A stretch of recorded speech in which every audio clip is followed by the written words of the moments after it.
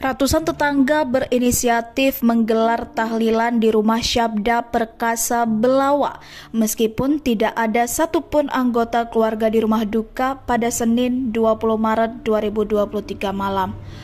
Kurang lebih 120 orang yang merupakan tetangga sang pebulu tangkis Syabda Perkasa Belawa dan sang ibu Anik Sulistiawati 49 tahun menggelar secara inisiatif tahlilan malam pertama.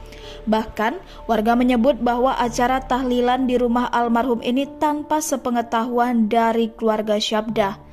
Digelar di kediaman yang berlokasi di RT 9 RW 4 Jati Kramat, Jati Asih, Kota Bekasi, para warga tanpa khidmat membaca surah Yasin dan berdoa terbaik untuk mendiang atlet bulu tangkis nasional tersebut.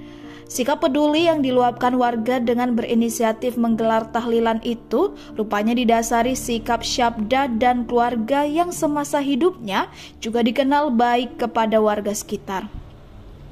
Berdasarkan hal itu, warga sekitar seakan ingin membalas kebaikan Syabda dengan salah satunya menggelar tahlilan.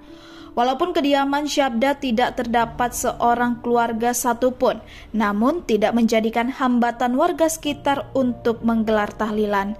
Mengingat sebelum kepergian Syabda beserta keluarga ke Jawa Tengah, kunci rumah telah dititipkan ke tetangga terdekatnya.